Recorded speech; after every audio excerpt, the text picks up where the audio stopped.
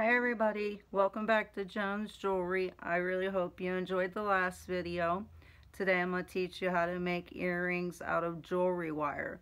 Um, we're going to go ahead and get started.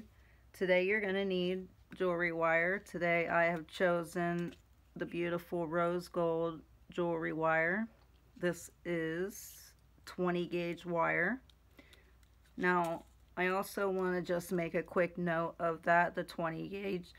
Um, the lower the number you go, the thicker the wire is going to be. So for something like this, you want to use the 20 gauge wire. For something, say a wrap ring, uh, you know, out of wire, you want to use something that's 24, 26 gauge. Not that you can't use this thick wire, but I recommend, you know, the smaller wire. Just remember that when ordering jewelry wire. The smaller the number, the thicker the wire. Okay, a few tools we're going to need. We're going to need our pliers, you know, our needle nose, our round nose, our jewelry cutter, our wire cutter. Um, I also have this awesome tool. It's called a looper. Okay, it makes those beautiful loops at the end of the eye pins or at the end of the jewelry that you see. Not everybody's going to have these, so I'm going to show you how to use this and how to make your own loops because all you really need are these round nose pliers and you can make your own loops just as pretty as this can. A couple other things we're going to need you're going to need, you know, your idea, obviously. So what I've done is, this is basically, I made just a little one. So, this is kind of what we're going for. So I chose a beautiful red glass bead that has beautiful pink and pink, I'm sorry, pink and red and a little touch of black that matches very well with the rose gold jewelry wire. Also, there's some crosses on there and on the bottom we are going to put rose gold angel wing charms on the bottom. You are going to need your ear wires and they they do come in rose gold. You can get them in pretty much any color that you need. You're going to need your jump rings okay to attach those charms at the end of your earring you're going to need your little bead spacers like I had my little crosses. So here are those crosses. They also come that in every color as well. Every shape that I've got stars, hearts, all kinds of shapes and sizes. And that's about all we need to get started. So we have everything all. And of course, you know the beads. You can use any bead you want. Um, but for like I said, I'm using these red glass beads for earrings. They're really nice, the glass beads. They work really well. And no, they do not make your earrings too heavy. So let's go ahead and get started.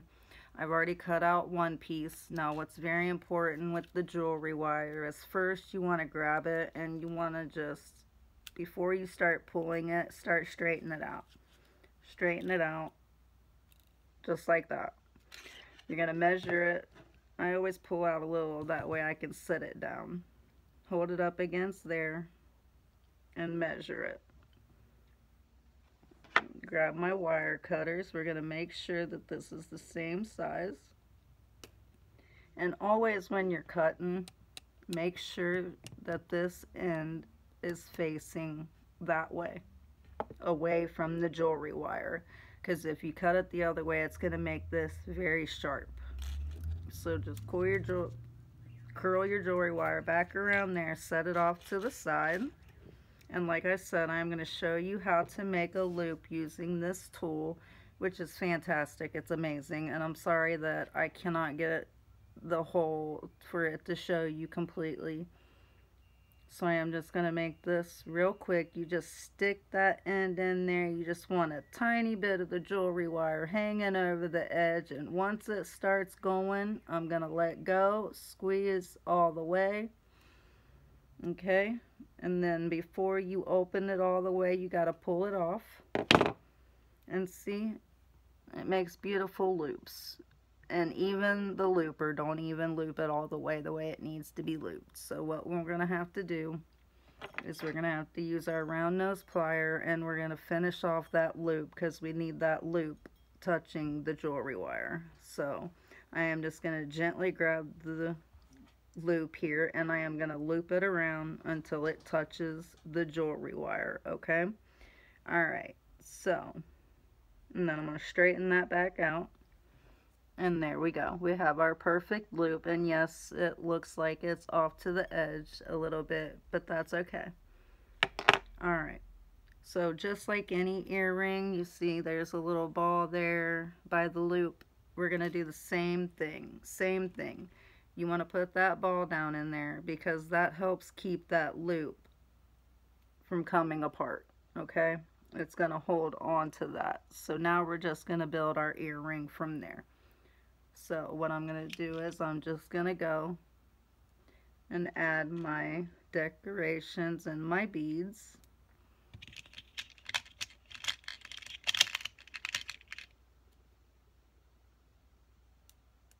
Okay, now I'm going to add a small one. One more bead.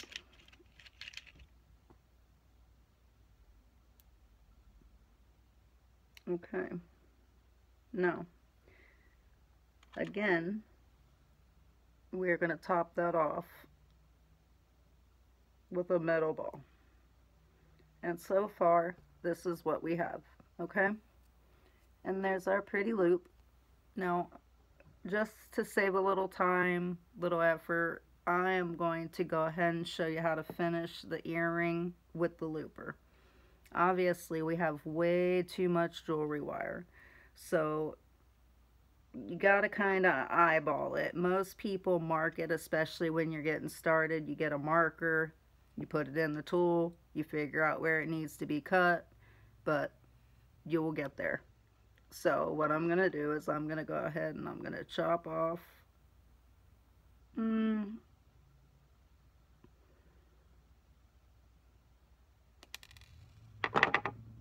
about that much. Okay, now I'm going to make sure that I'm holding the loop just like that, okay? Pushing that ball down and all I'm holding on to is the loop, okay? And you're going to put it in there and you want to make sure that that loop is going to go up the same direction as the other one. We got our wire in there, so here we go. Let go and squeeze. And pull it out. And we have our two beautiful loops.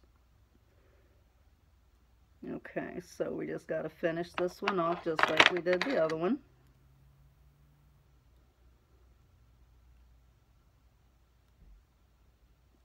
Not real quick and that one is done. We have both of our loops and we're ready to add our charm and our ear wire. Okay. And I am actually going to tighten this one up just a little bit. And you know what? Please be careful if you're using rose gold jewelry wire because rose gold damages very easily. And when I say easily, I mean very, very easily. Even the round nose pliers will sometimes damage it and those aren't supposed to damage it because there's they're literally flat. There's no edges. Okay so that one's ready to go. All right. So real quick I'm gonna make one more. Actually my bad. I'm gonna show you how to do it. So you're gonna take your pliers okay? You're gonna grab it at the very end okay And what you're going to do is you need to kind of flip your hand, okay? And then you're going to curl. You're going to start with a big curl, holding on to it. And now you're going to go around keeping a hold of that jewelry wire because it's going to want to slip. See, it's trying to slip out of my hand, but that's okay. We can fix that. And I recommend if you're using rose gold, fix it with your finger as much as possible. So I'm going to go ahead and I'm going to pull this back so I can finish that loop. And that's it. So if I were you, I would get some cheap jewelry wire and I would practice the loop because that's basically how how you learn. Just grab some scrap jewelry wire that you don't care about. Go ahead and just practice the loop over and over and over and over and over and you'll get it. You will. Okay. So now we're going to go back over here and we're going to finish this earring. Of course, we're going to make it exactly the same. We can get into making different, harder ones later. Okay, so we put our big ball, so we need our bead. Okay. So right now we can decide, do we want the big cross or the little cross on the top or the bottom? So I'm going to go with the big cross on the top.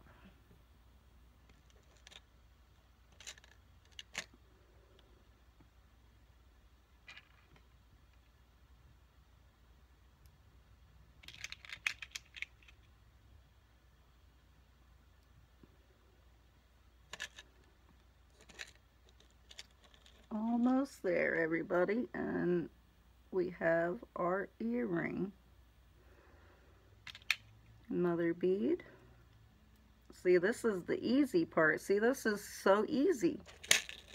Anybody can do this. Anybody. And you know what? You made it. It's your own. You can put whatever you want on there. You can make it whatever color you want. There's our second earring.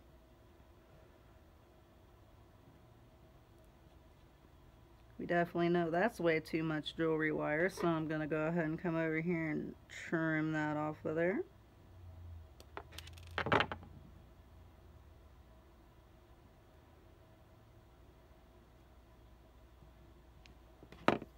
And I'm going to put that in the looper real quick.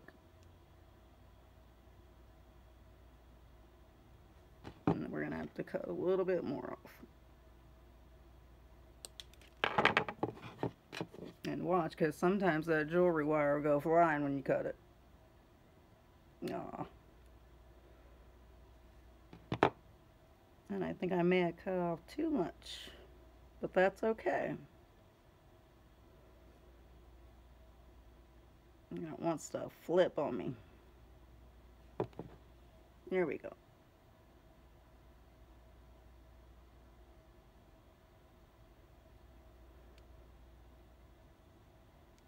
Okay, that one's not going to go all the way around, but that's okay. Because it's a start.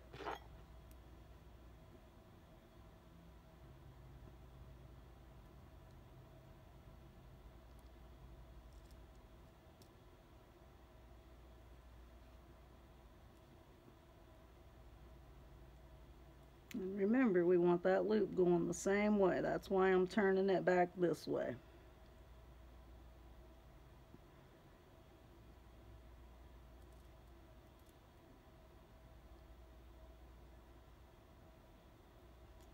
Okay.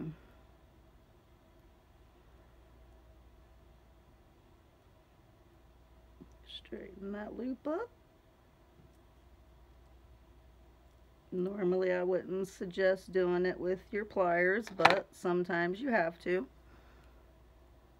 Alright, that part's done. Now, the easy part, adding the ear wires to the top.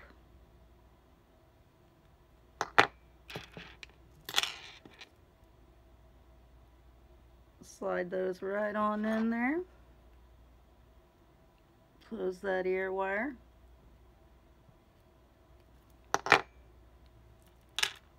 Okay. Excuse me. I'm going to go grab one of those jump rings. Okay.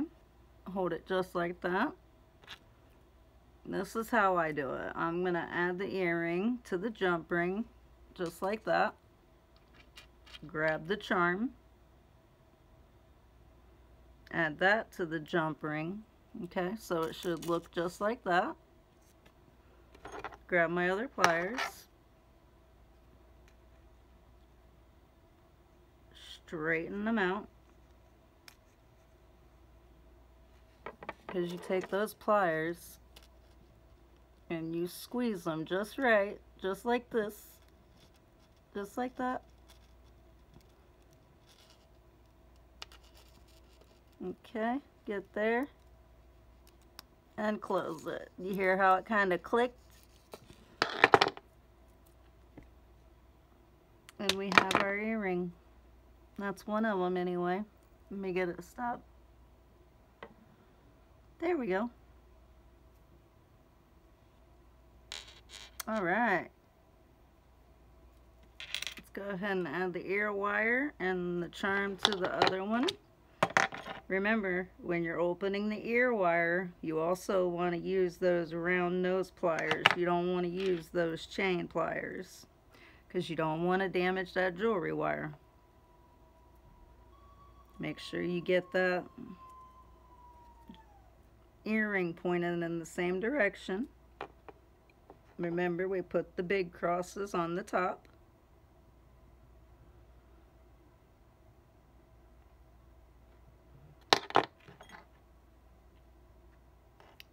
We're going to close that.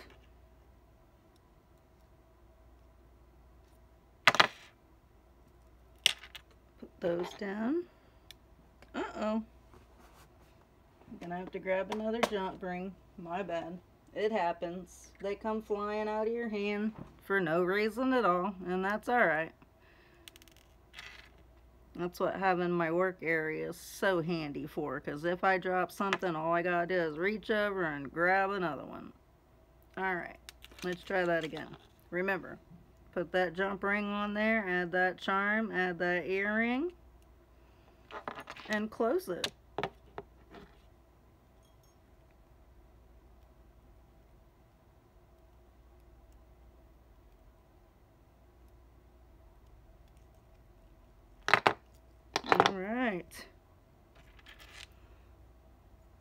we have our beautiful earrings. I really hope that was easy for you to understand and I will definitely do more of these because it definitely took me quite a long time to learn how to do this and I'm still not perfect at it. But I figured why not learn together, you and I. So please join me. Please hit that subscribe button, that like button. And if you have any comment, any question, any suggestion, anything you'd like to see made that you maybe need help with, please, please ask. I will be more than happy to answer. I will put my Etsy link at the description at the bottom. But for you right now, that is www.etsy.com slash shop slash Jones Jewelry Crafts. I also want to throw in there that crafts section because I don't just do jewelry. I also do crafts, but I'm not going to get into that right now. Right now, we're just going to stick to the jewelry. So, we made our beautiful red glass earrings with some angel wings. I am going to put those up on my Etsy shop here in just a little while, along with everything else that we've made together. I really appreciate you joining me. Again, thank you so very much, and I can't wait to do this with you again. I have so many ideas I would love to share with you. Thank you so much. Have a great night, and I will see you soon. Bye, everybody.